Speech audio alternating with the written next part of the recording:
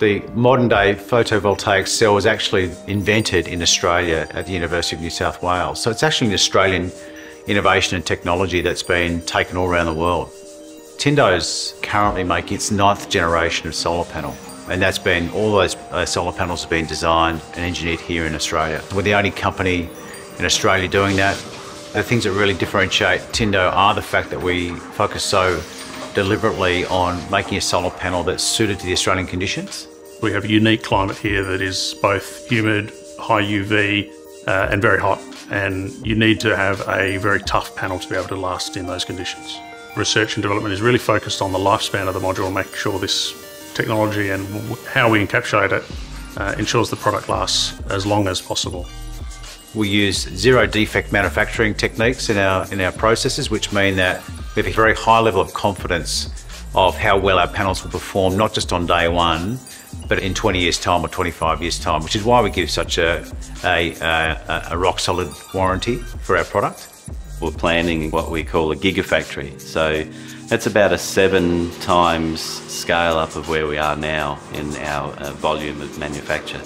It'll employ over 250 people, create an ecosystem even, of even further research and development, create draw through and uh, volumes that will generate more and more opportunity for other companies to service us in Australia.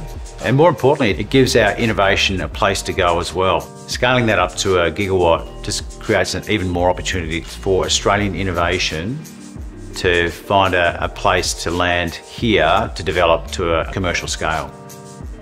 We get to talk with customers all the time, the end users, and understand their needs, wants, um, difficulties. And so that's really good from a manufacturing perspective. We put enormous effort into making sure our panels are going to last the distance in our climate and so that people, our customers, get what they're paying for the employment that is provided by manufacturing locally is so important to the whole economy. It is not just buying something a bit local because it's a nice thing to do. It's it's a circular requirement that we really need within this country. Being able to use the Australian made logo is incredibly important. All our people take that very seriously. It's not just a matter of um, just being able to stick a logo on it and move on. It's really a, a point of um, not just difference, but being validated that what we are doing is significant and important for Australia. They just align with it, that it's Australian, we're, we're helping Australian manufacturers, it's jobs, it's security, it's, it's everything Australian. And then along with that, it, it just represents quality. And we want to be known for looking after our customers and doing the right thing. So we see that as a, a great opportunity for us just to make more high quality Australian made solar panels and that's just got to be good for everyone.